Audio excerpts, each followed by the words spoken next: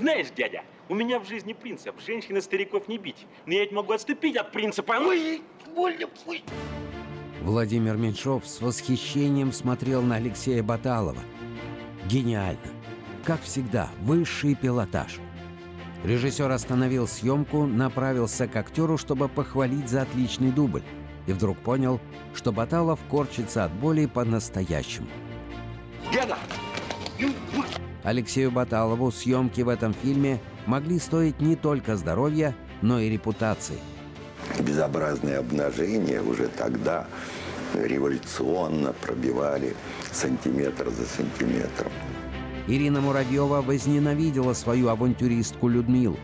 Александру Фатюшину вслед за его героем до конца жизни сочувствовали, поскольку считали горьким пьяницей. А Сашу почему-то э, стали жалеть. Владимиру Меньшову и вовсе пророчили оглушительный режиссерский провал. Просто отбоя не было от желающих остановить меня от этого ошибочного шага. Чиновники окрестили Москву слезам не верят дешевой мелодрамой. А для простых зрителей картина стала инструкцией по выживанию. Я хотела покончить с собой. Посмотрела картину «Москва слезам не верит». Буду жить. Шквал критики и главная награда Американской киноакадемии. Феноменальный успех и загадка для историков кино. Банальный сюжет про советскую Золушку превратился в историю на все времена. Москва слезам не верит. Почему этот фильм до сих пор так любят во всем мире?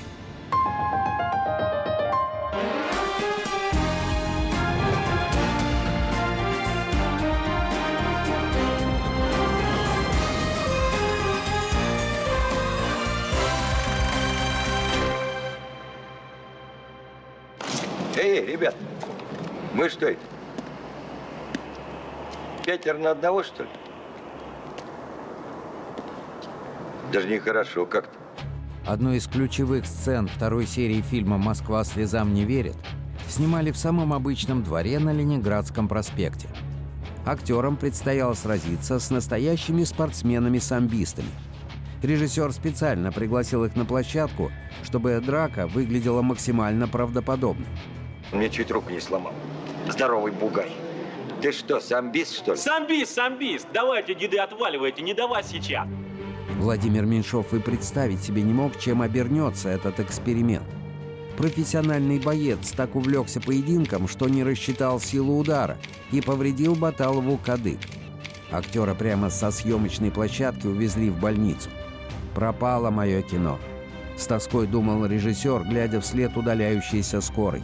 Баталова не заменит никто. Что ж, вечер перестает быть томным. Меньшов долго не мог подобрать актера на роль Гоши. Пробы провалили Олег Ефремов и Виталий Соломин. Ни в одном из них режиссер не увидел интеллигентного слесаря. Он даже подумывал сыграть этого героя сам. Но тут по телевизору показали фильм «Дорогой мой человек» с Алексеем Баталовым. И вечный бой, покой нам только снится.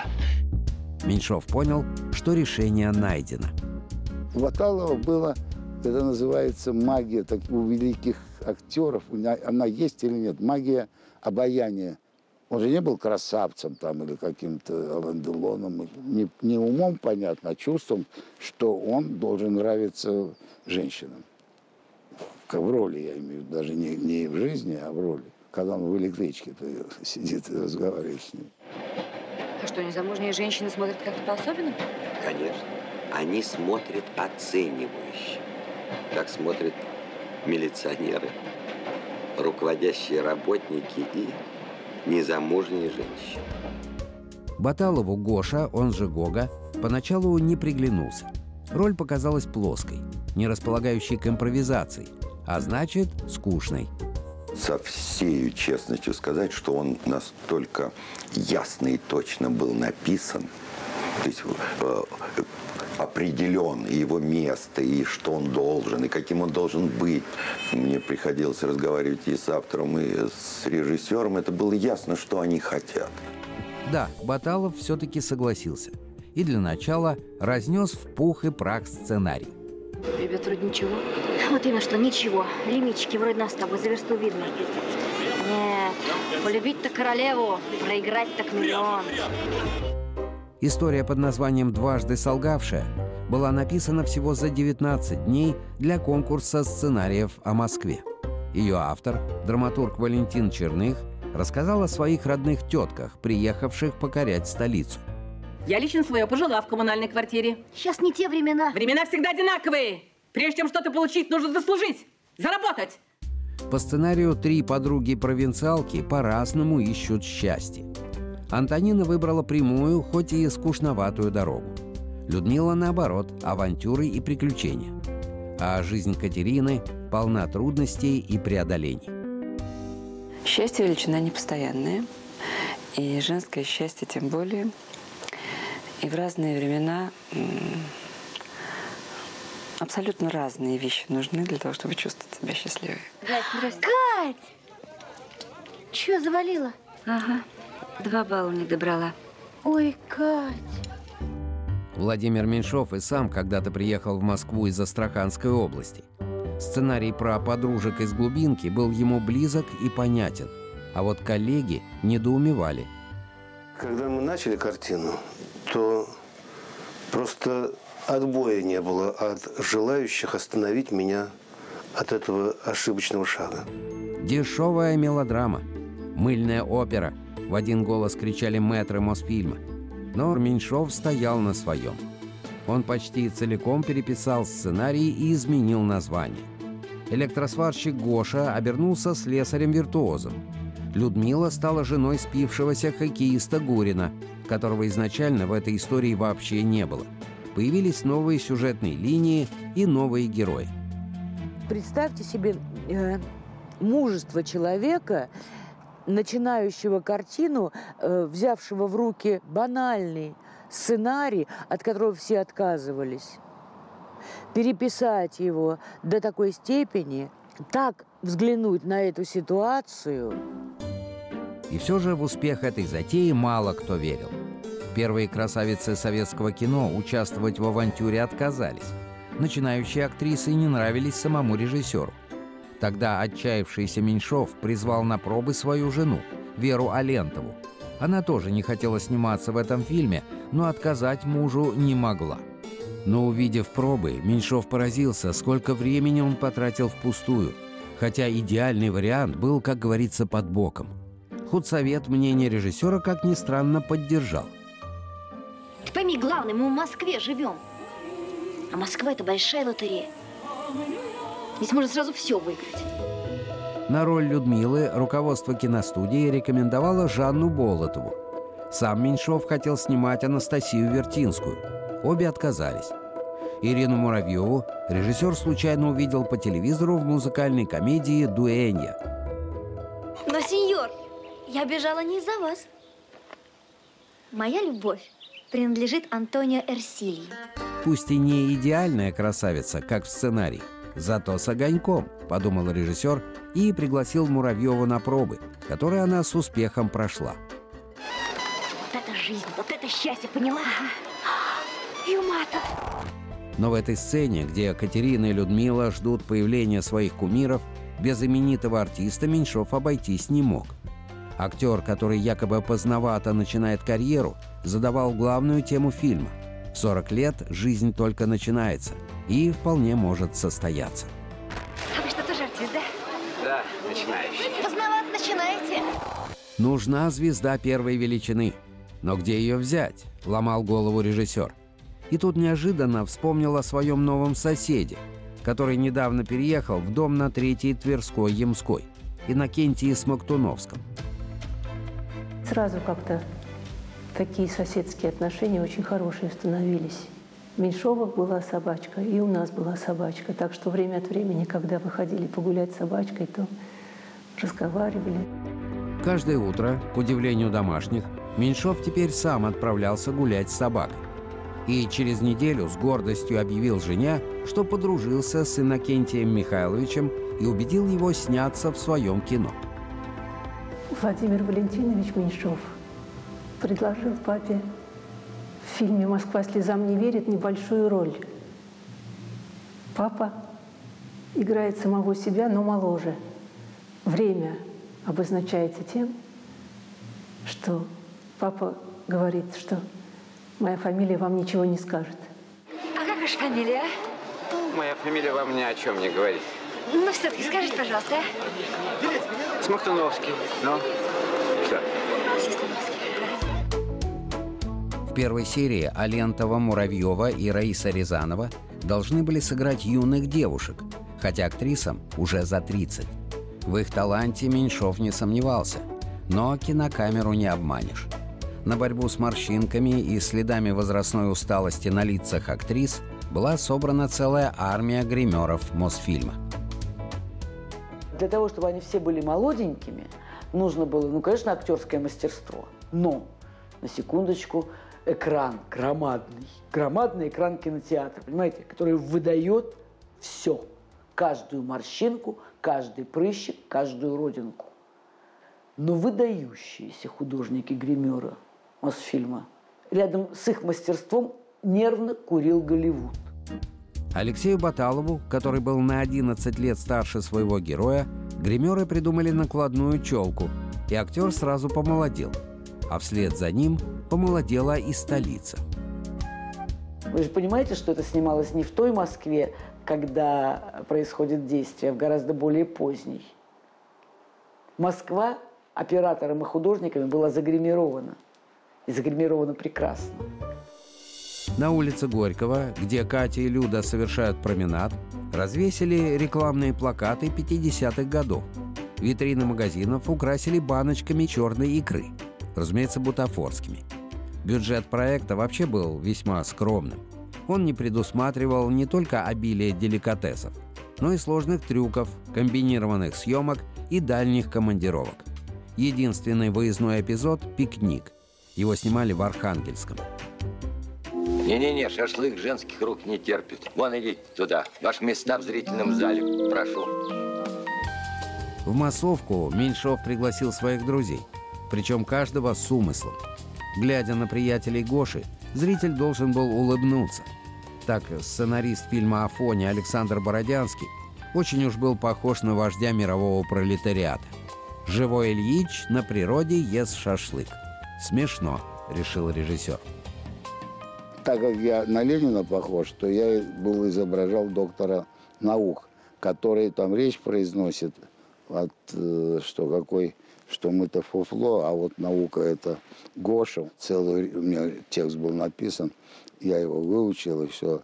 И я его сказал, но в кино его тю-тю и музыка вместо моих слов. Я ведь давно эту белую книгу читаю. Музыку подложили уже на монтаже.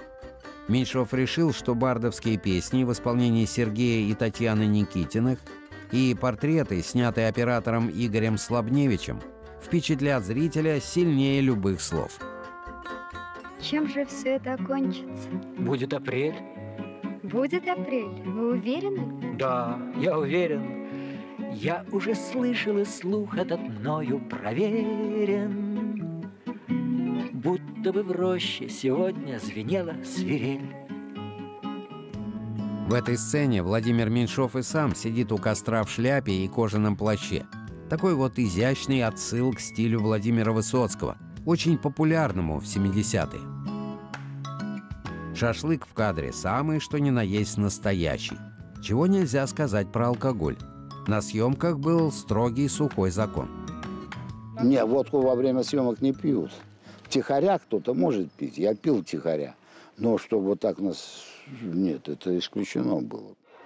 Сергей Александрович, здравствуйте. По кружечке. А может, водочки? Ну, чуть-чуть, чуть-чуть. Простите. Но однажды Владимир Меньшов сам нарушил свое жесткое правило. Когда снимали сцену в пивнушке с хоккеистом Гуриным, которого играл Александр Фатюшин. В этом кадре Владимир Валентинович сам э, лично принес бутылку водки и сказал, вот чтобы для, прав... для правдоподобности его добавляете там. Меньшов с довольной улыбкой наблюдал, как с каждым дублем Фатюшин заметно плывет.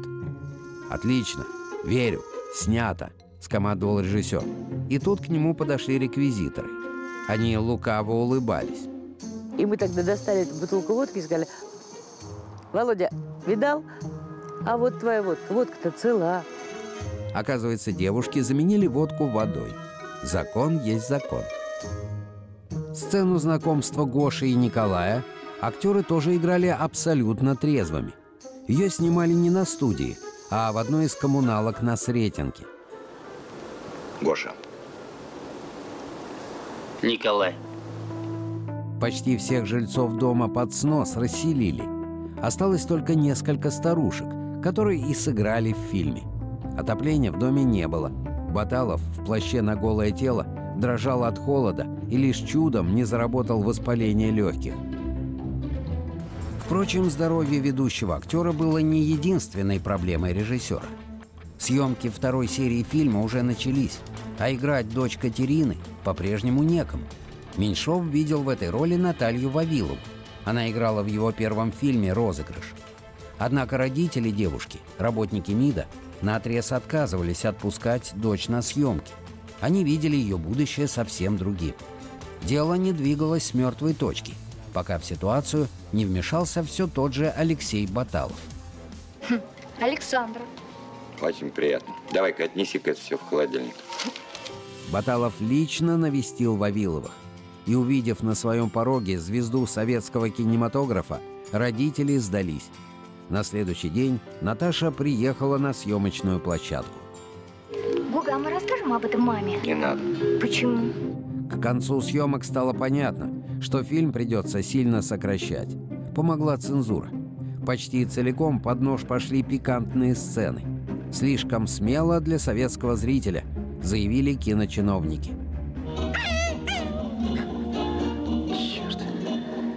Потребовали убрать все эпизоды любовных отношений героини как с любовником, потому что это аморально, женатым мужиком, а, которого играл Табаков, так и с любимым. Не нужно. Легли, встали.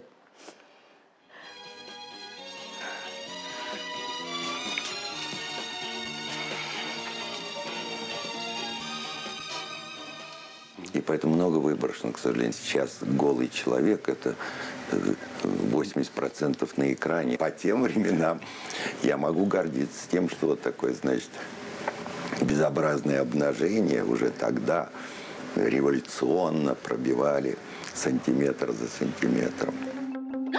Что же мы? Что же мы с тобой решим? Ну? Сейчас Сашка из института придет. Впрочем, главные претензии чиновников касались не только легкой советской эротики. Фильм окрестили низкопробной мелодрамой и уже готовились положить на полку. Но тут режиссеру повезло.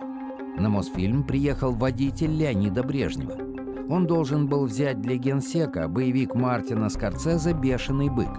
Не вышло. Коробки с картиной куда-то запропастились. И что, возвращаться с пустыми руками? Что скажет дорогой Леонид Ильич? И тогда чиновники на свой страх и риск отправили главному зрителю страны эту самую мелодраму. И вскоре с изумлением узнали, что Брежнев в полном восторге. А потом и вовсе началось форменное безумие. Ну а потом, когда картина уже вышла на экраны, действительно случилось вот это э, чудо, которое до сих пор я не, забыл, не забываю и очень жалею, что не осталось никаких документальных свидетельств, фотографий хотя бы, как что творилось. Действительно в течение трех месяцев кинотеатр России стояла очередь. Здесь не просто актеры проснулись знаменитыми, они проснулись любимыми. Это гораздо важнее, потому что можно быть знаменитым, можно быть популярным, можно, как сейчас говорят, медийным, но любимым стать очень, очень непросто, очень непросто. Но этой народной любви были рады не все. После премьеры Ирина Муравьева рыдала. В своей Людмиле интеллигентная актриса увидела пошлую грубиянку. Ой, Полина, у тебя же все по правилам, а в жизни еще и лотерея есть. Вот я всегда лотерейный билет покупаю. Выиграла. А как же, два раза по рублю. Юрия Васильева сыгравшего соблазнителя Рудольфа, теперь ненавидела вся страна. После этой роли за актером на долгие годы закрепилась слава самоуверенного негодяя. А Александр Фатюшин до конца дней так и не отмылся от образа горького пьяницы. А Сашу почему-то э, э, стали жалеть. Жалеть. И это проявлялось ну, в таких бытовых вещах, например, когда мы ходили там, ну, в магазин, на рынок когда-то, смотрели на него с жалостью, потому что они воспринимали его как, как действительно несчастного, спившегося хоккеиста, которого вот с женой вот там они дерутся в этих халатах. Стерва же ты, Людка, ты что, забыла, сколько я привозил? Как эти шмотками ты этими заваливал? все, что ты привез, ты же и против! Я заработал, я и против, имею право! Кассовый успех фильма стал полной неожиданностью не только для режиссера, но и для чиновников Госкино. Тогда кто-то из них и задумал невиданную авантюру – отправить ленту за океан. На победу, конечно, никто не рассчитывал. Но история про советскую «Золушку» покорила сердца американских киноакадемиков и получила «Оскар» за лучший зарубежный фильм года. Примечательно, что Владимир Меньшов про все эти удивительные приключения своей картины ничего не знал. Более того, когда режиссеру позвонили из Министерства культуры с поздравлениями, на календаре было 1 апреля, и он решил, что это просто шутка. Что касается конкретно Оскара, то должен вам сказать, э, может быть, я такой был э, малообразованный. Я в полной мере не оценил тогда этой э, награды. Потом так по уже по прессе я стал понимать, как э, картина, что это такое Оскар, честно говоря. The winner is Soviet Union. Moscow does not believe in tears. В Америку Меньшова не пустили. Вместо него золотую статуэтку получил атташе по вопросам культуры посольства СССР в США. Награда хранилась в Госкино, и только спустя почти 10 лет ее все же вручили режиссеру. Поскольку Володя был не выездной, то там, видимо, наверху было стыдно, поэтому много ездила я. И письма, которые благодарили и которые говорили, что вот, мол, моя судьба так похожа на судьбу вашей героини. И за рубежом корреспонденты, которые говорили, что вот вы знаете, так похожа ваша героиня а, на нас, на наши реалии все, во всех странах причем. Будь то Африка, будь то Франция. Совершенно советская Катя стала, как оказалось, воплощением и американской мечты. Иностранные зрители увидели женщину, которая всего в жизни добилась сама, и прониклись. Сказка о том, что жизнь все равно, как и кино, должна кончаться хорошо. Мучилась, мучилась, героиня приехала, но какой-то у нее в конце такой благополучный должен быть исход ее терзаний, стараний и всего. Модницы всего мира стремились быть похожими на нашу героиню, и к полному изумлению костюмеров фильма надели под босоножки белые носочки. До свидания. Никак уезжаешь, Кать? А кто расчахать гулять будет? Хозяйка. А ведь художник по костюмам Жанна Мелконян придумала этот образ от безысходности. Обувь 1958 года, которую нашли для съемок, была грубой и до крови натирала ноги актрис. Носки стали спасением. И получился действительно трогательный, провинциальный, такой полудеревенский образ. Москвичка бы так не надела молодая, а провинциалка приехала в таком и ходила, как, как будто так и надо. С тех пор прошло больше 40 лет. Но Москва слезам не верит и по сей день не сходит с экранов. Незамысловатый сюжет, не идеальные герои. Но именно этот фильм называют феноменом советского кино, над которым время не властно. Надежда, она, э, э, мне кажется, что самое ее э, большое достоинство этого фильма, что он оставляет людей, ну, как-то делает их сильнее, что ли, фильм, да- да заставляет их верить в себя, верить в то, что еще все повернется в лучшую сторону. Когда картина вышла на экраны, то очень много мы получали писем. Но одно письмо меня повергло в какую-то невероятную радость, хотя письмо было почти трагичным. Писала женщина, которая написала «Спасибо, я хотела покончить с собой». Посмотрела картину «Москва слезам не верит». Буду жить. Добро всегда побеждает зло, а юмор помогает преодолеть трудности. Возможно, секрет успеха именно в этом. В советской сказке, сотканной из надежды, веры и любви, зритель нашел для себя ответ на главный вопрос. В 40 лет жизнь только начинается. Значит, рано сдаваться.